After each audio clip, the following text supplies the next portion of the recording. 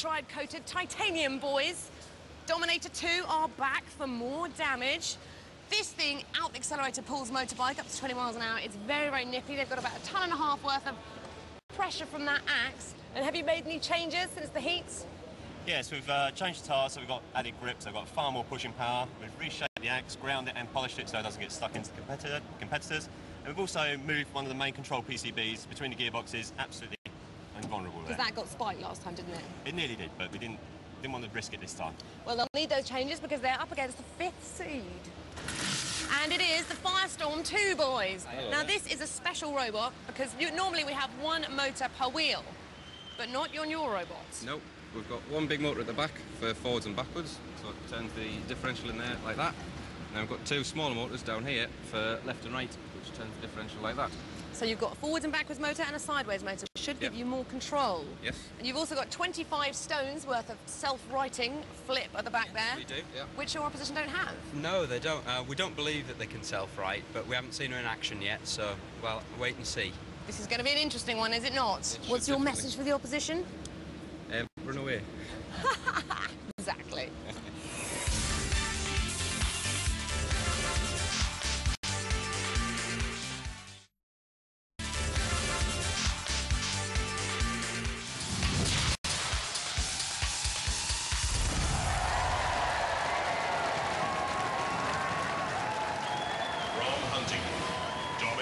Dominator 2. The motto of this team is ram it, hit it, push it. Two industrial motors generating up to 20 mile an hour. A pneumatic axe is the weapon. A plasma nitride coated titanium shell. Can they dominate or will they whimper? Welcome to Dominator.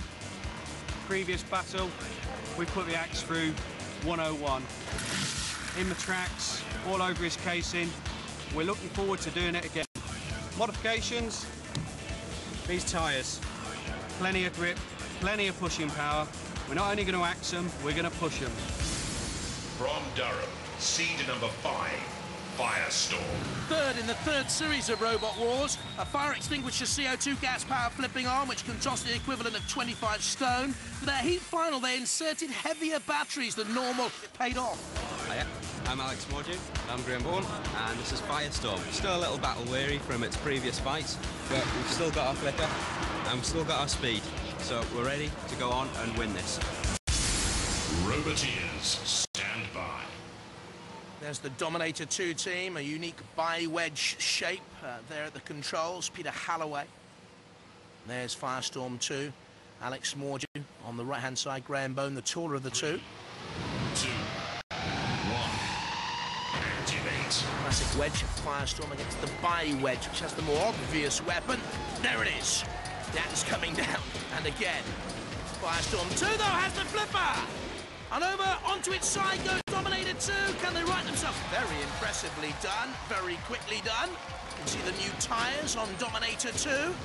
And again, down comes the axe. Look at the blade. Oh, lifting, plucking at the powerful flipping arm of Firestorm 2. Fought in Series 2, fought in Series 3. They got knocked out by Chaos 2. The Durham boys, they were at Edinburgh University together. And up against Dominator 2. They now come back in on the attack. Trying to get in underneath Dominator. There they are, Graham and Alex. You saw from behind. Dominator 2 now on the attack, chasing them down across the arena floor. Get up to 20 miles an hour, Dominator 2. Peter Halloway, the project manager for the team, the driver, the T-boy also, he said so. Paul Tolliday is controlling the weapon. And the crowd make their intentions clear. They want the Firestorm boys into the pit, but they escaped. See a vent of steam rising from the arena floor there in the background, and Dominator 2 upended. Comes crashing down. That's where Firestorm 2 could have done, perhaps with an axe-type weapon to get in on the vulnerable underbelly of Dominator 2. Only has the flipper, scarred Firestorm badly as well, but always aggressive. Again, Dominator 2 flipped up. This first semi-final has been markedly close. Really has been highlighted by some very tense close battles, and this is another one, and I'm sure it'll go to the judges unless Dominator 2 can free themselves here from the arena floor and the arena wall. The ref bot comes in. Dominator 2 are there, immobilised. Firestorm 2, Baines, great. And Dominator 2 may have just got away at the end to take it to a judge's decision. Only just, though. Well, did Firestorm burn brightly, or did Dominator dominate? It's up to our judges. They've had their work cut out, haven't they? The quality of the semi-final so far, judged by the fact that they've had to make three decisions now. Dominator 2 using the axe. Yep, points gained there. But Firestorm 2 came back very strongly, and again, that's been a feature of this semi-final. Takes a little bit of punishment from Dominator 2 later on. Chaps, the decision is through. It's the closest decision ever in the war. The judges have gone two to one, and it's only by one point in favour of Dominator 2!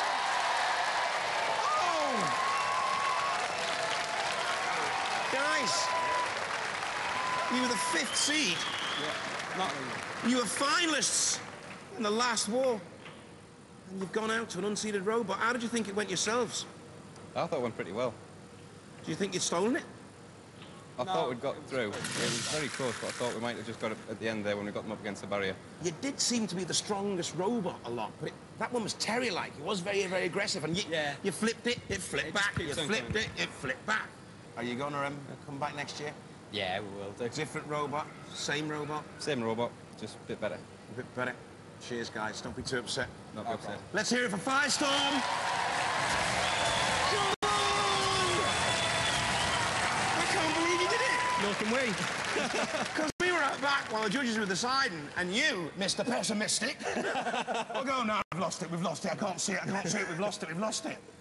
And you Oh, come well. through. Well, it was just... Two to one, one point in it. Yeah, it was good. It was a good fight. You're through to the next round, guys. But Yep. you know the robots get bigger and better and badder as you progress. Absolutely. And we've got some work to do now. You certainly have got some work to do.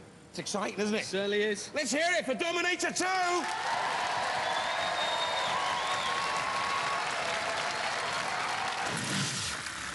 Is that one of the points that they lost on? What do you think, team? Well, a little bit disappointed with the decision, but Now, you, you've seen the judges' score marks, haven't you? How, what were the exact marks? Uh, it was 111 for us, 109 for them, but it was we lost it on one judge by one point. Incredibly close. Yeah, when you get it to this stage in the competition, you've got to expect that, haven't you? yeah. Yeah. We lost, lost on, on damage. I mean, we've got holes all over the robot. It's all cosmetic stuff. The robot still works fine, so... Ours was still working fine at the end of the battle, but it was a bit knackered. But I think they've got it sorted for the next one. Oh, and you're pleased about that. He's pretending to be pleased about that. That's one of the closest I've ever seen. But uh, Tatata Firestorm 2, Dominator 2, one of four machines left in. Only two qualify for the series final. Chaos 2 against Tornado, Pussycat against Dominator 2.